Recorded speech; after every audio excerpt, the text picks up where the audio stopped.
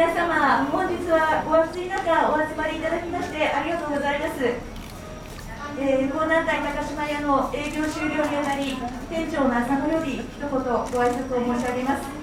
では、浅野店長、よろしくお願いいたします。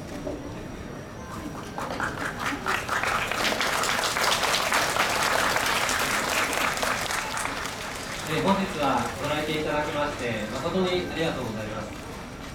港南大店長の浅野と申します、え大変遅い時間お暑い中お集まりいただきまして本当にありがとうございます、え2020年8月16日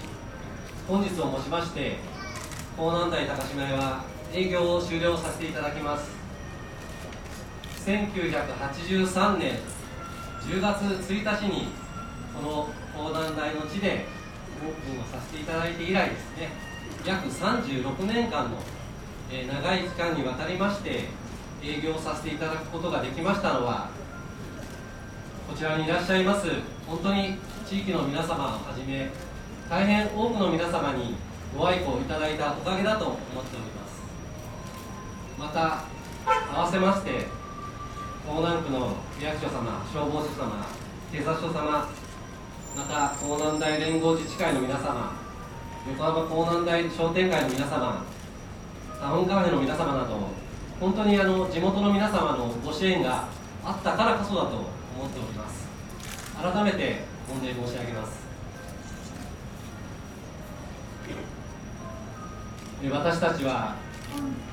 この港南大という大変素晴らしい町で36年にもわたって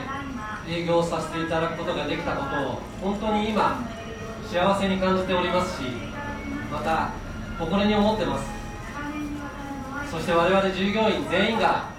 この港南台という町そして港南台の皆様が大好きでした。明日からはまたそれぞれ新しい道を進んでまいりますが港南大でいただいた多くのご支援ご愛顧を胸に全員が精進してまいります。高島屋をこれからもよろしくお願いいたします。最後になりますがまたいつの日か近い将来になるか分かりませんけれども何らかの形でこの港南大店で何かをさせていただく機会ができればなと